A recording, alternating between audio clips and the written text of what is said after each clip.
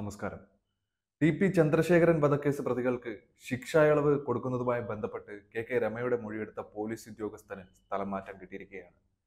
കുളവല്ലൂർ S I ശ്രീജിത്തിനെയാണ് സ്ഥലം മാറ്റിച്ചത്. കുളവല്ലൂർ police സ്റ്റേഷനിൽ നിന്ന് വയനാട്ടിലേക്കാണ് അദ്ദേഹത്തെ സ്ഥലം മാറ്റിയിരിക്കുന്നത്.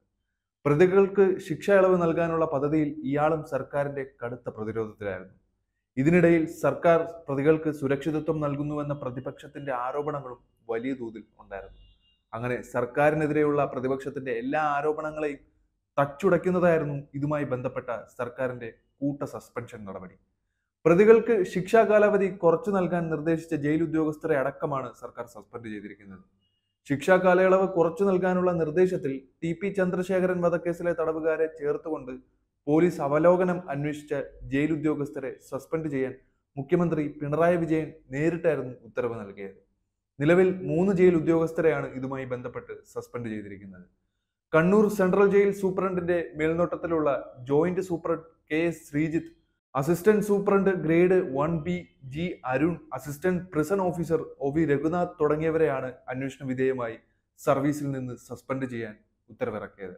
ഇതിന്റെ പശ്ചാത്തലത്തിലാണ് ശിക്ഷാ കാലാവധി കുറയ്ക്കുന്നതുമായി ബന്ധപ്പെട്ട് കെ കെ രമയുടെ മൊഴിയെടുത്ത പോലീസ് ഉദ്യോഗസ്ഥനും ഇപ്പോൾ സ്ഥലം മാറ്റം കിട്ടിയിരിക്കുന്നത്. ആസാദി കാ അമൃത് മഹോത്സവത്തിന്റെ ഭാഗമായി കഴിഞ്ഞ വർഷം വട്ടം കൂട്ടിയ പട്ടികയിലാണ് പ്രതികളുടെ പേര് ചേർക്കപ്പെട്ടിരിക്കുന്നത്.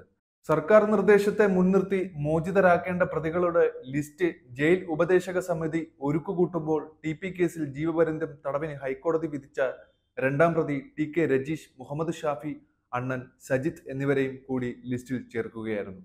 പോലീസിന്റെ നിരീക്ഷണഘട്ട അവലോകനം കിട്ടിയാൽ സർക്കാരിന് ഉത്തരവ് പുറപ്പെടുവിക്കാനാവും. അതിൽ ഗവർണർ ഒപ്പിടുന്നതോടെയാണ് പ്രതികൾക്ക് പുറത്തിറങ്ങാൻ കഴിയുന്നത്. ശിക്ഷാ കാലാവധി കുറയ്ക്കുന്നതിന് ജയിൽ സൂപ്രണ്ട് പോലീസ് കമ്മീഷണർക്ക് കത്തും കൊടുത്തിട്ടുണ്ടായിരുന്നു.